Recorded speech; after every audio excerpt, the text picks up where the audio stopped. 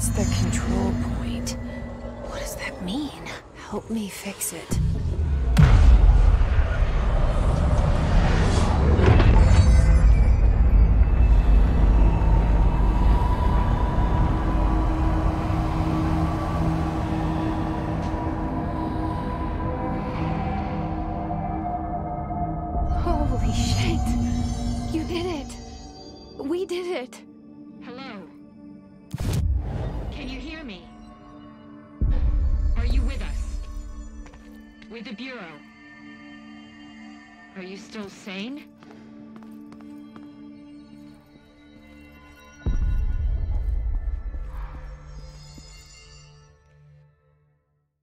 Can't tell you how happy I am to talk to somebody sane. The feeling's mutual. Yeah, I'm Pope, Emily Pope, Dr. Darling's assistant. My turn. Should I lie? Jesse Faden. I'm just visiting. I should have lied. Oh, shit. You're the new director. Hold on. We're coming out.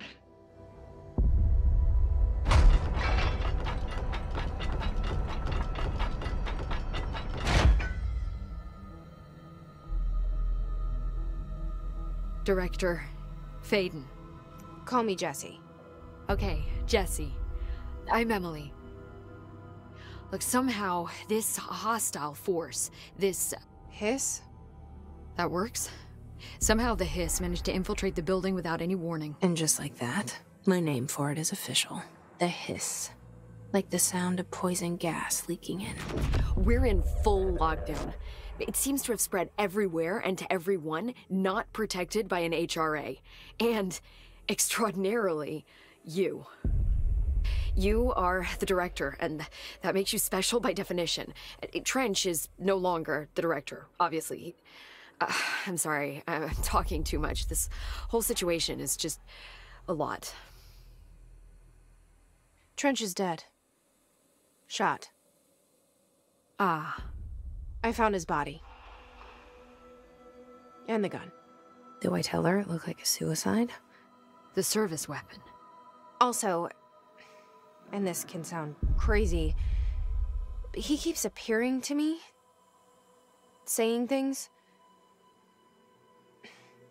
It's hard to make out, but he told me to cleanse the control point, push the hiss out. The whole room shifted around. You did that? And you entered the building when it was already in the lockdown before you became the new director? Eh, how? I'm not ready to tell her about you yet. A janitor let me in. I love it. This is fucking unbelievable. It's. I can't even. Look, Jesse, I have a million questions, and you probably have a million more. Like, do you know my brother Dylan? Not yet. But there's something I need to ask you to do first. If you can cleanse a control point, then you can maybe cure those infected or possessed by the hiss. Because if that's possible, our options are very different. Emily Pope. I don't know her, but I like her already. She's the opposite of the faceless agency I've blamed for what happened to me for so long. But I can't trust her yet. Or rather, the Bureau she's a part of. Yes. I can try. I'm speaking for you, of course. We can try it together. Okay. You with me? We did it before.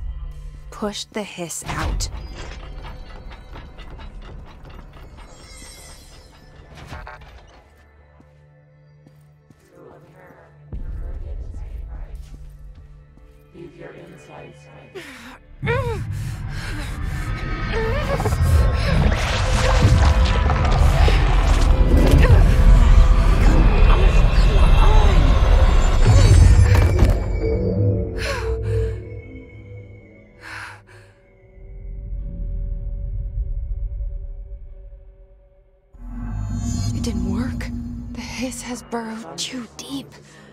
Ripping it out rips them apart. Jesse, over here.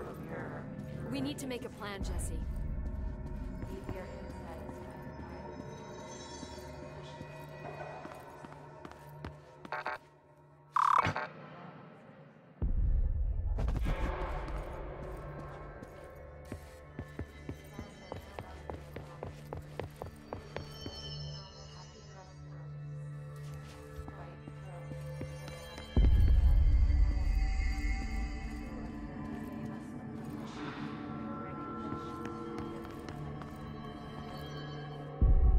I can't cleanse them. I saw. It was worth a shot. Thank you, Director. Jesse. I'm gonna tell her why I'm here. I'll risk it. Listen, the Bureau was involved in an incident in my hometown, Ordinary, 17 years ago. The Bureau came in and covered the whole thing up. I've been looking for this place for a long time. That's enough. Maybe that's too much already.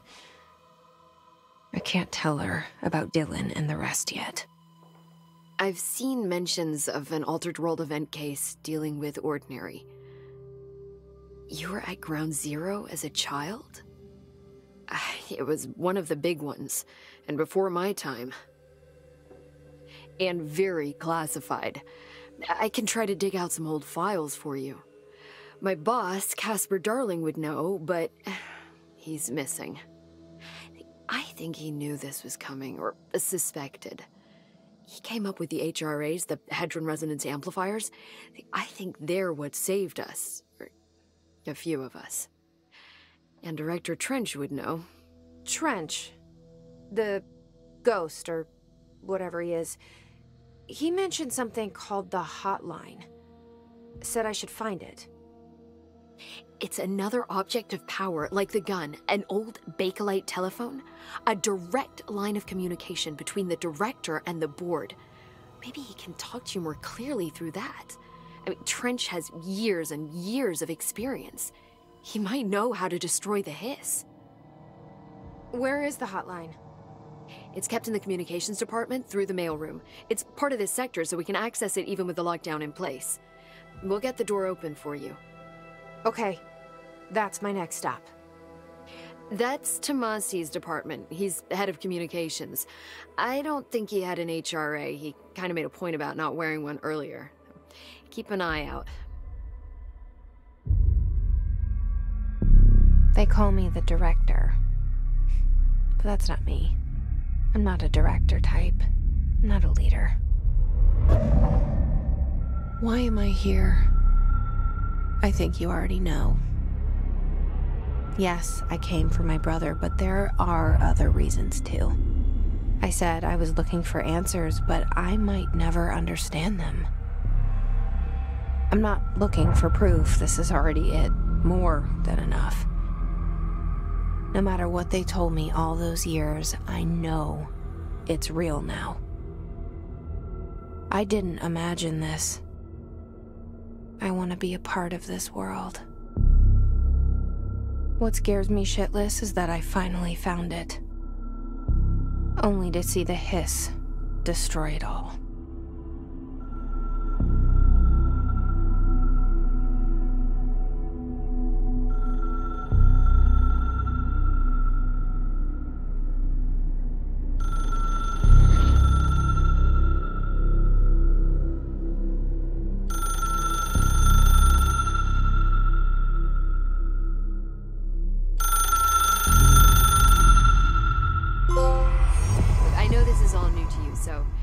Hesitate to ask me anything you want to know. There are no stupid questions. The door to the comms department is just outside the boardroom back in the lobby. They should have gotten it open by now. Follow the signs to the mailroom. You can get to the hotline containment chamber through there. Good luck, Jesse. See you back here once you have the hotline. Thanks, Emily. The hotline should be in the communications department. Where did the hiss come from? I'm not sure. You said the hiss was here when you entered. Did you see anything like that outside before you came in? No. No, just inside. The source is internal then. See, the oldest house is a sprawling complex with openings to other places as well. I don't even know where to start looking. But in the context, it's good news. The lockdown holds. The hiss escaping the building would be the end. Pretty shitty world out there if you ask me, but I wouldn't want the hiss to destroy it. With you on that, Emily. You mentioned the oldest house. What is it? This building, the Bureau headquarters, the oldest house, is a shifting place. Uh, you've seen it, it transcends its physical limits. I've been to New York a few times. How didn't I notice this place? It's an attribute of the building. This is a place of power. The oldest house doesn't like attention, so unless you're purposely trying to find it, you don't, which is perfect for us. The work we do here is essential, but unstable. The Bureau prefers not to be noticed. And we need strong walls to make sure nothing gets out. So without you, I never would have found the front door. Okay. This trench guy. I keep hearing him in my head. Is he a ghost? Haunting me? I doubt we're talking about a ghost in the traditional sense, but an echo maybe. See, if he was killed by the service weapon, your gun, maybe it's his final thoughts recorded by the bullet in his brain, like a, a deep space probe sending back data. But that's just a hypothesis on my part. I need the gun to research it. but you better hold on to that given the circumstances. I think I will. Yeah. Can you tell me what an object of power is exactly? This is all, well, new to me. Don't worry, I love going over the basics. So, objects of power are mundane objects that house paranatural energies and have developed a link to the astral plane and can thus be controlled, which is what differentiates them from altered items, which are still housings of paranatural forces, but are more volatile and cannot be bound in the peri-utilitarian sense. Got it? Did she memorize this? Got it. Thanks. So HRA stop you from becoming Hiss? Well, it seems that way. I mean, I hadn't even heard of an HRA until a few weeks ago when Dr. Darling started handing them out. Well, I began analyzing mine as soon as I got it. I mean, each one seems to emit a powerful short range frequency way beyond anything I've ever seen. Doesn't the timing seem suspicious? I thought that too. Dr. Darling usually likes to unveil his latest breakthrough in big presentations. With these, he just passed them out. Yeah, his behavior makes me wonder what exactly he knew.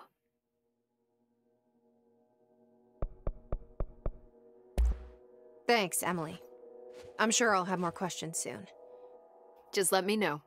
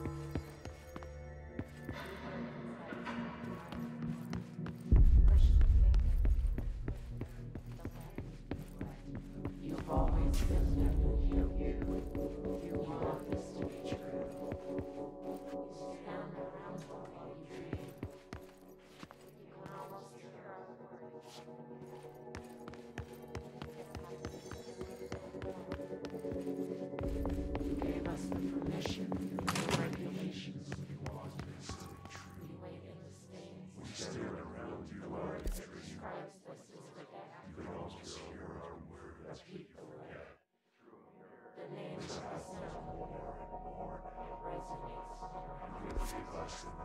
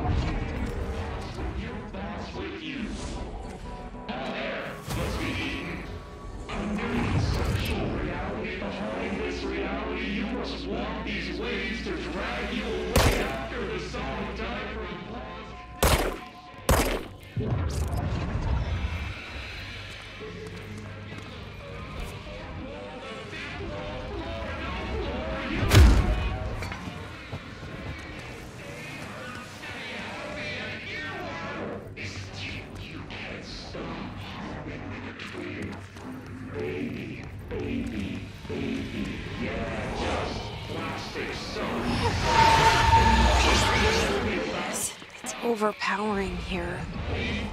You don't want me anywhere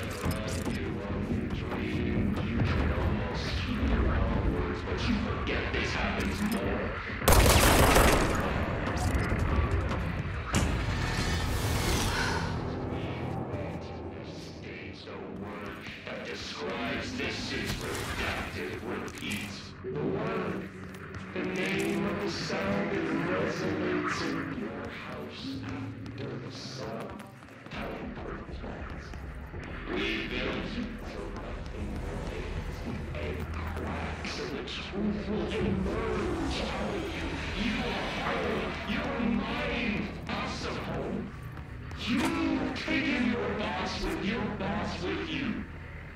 And there must be eaten. Under the conceptual reality behind this reality, you must walk these waves to drag you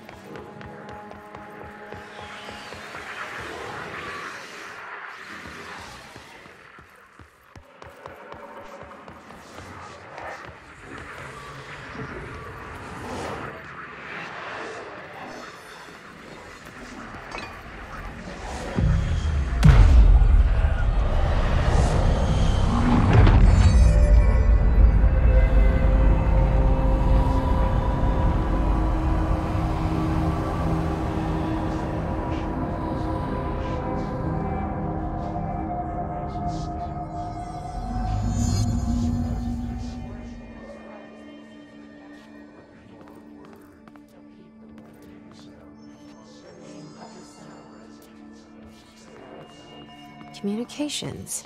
We're on the right track.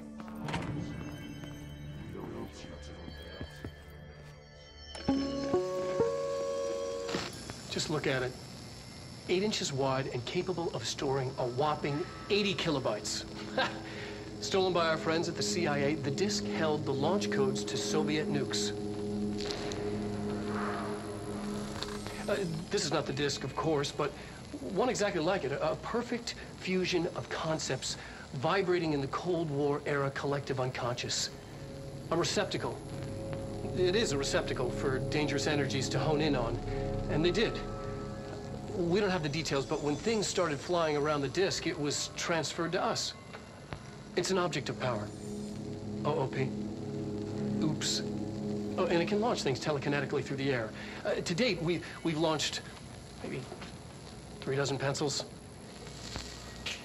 And once, we even launched a cup.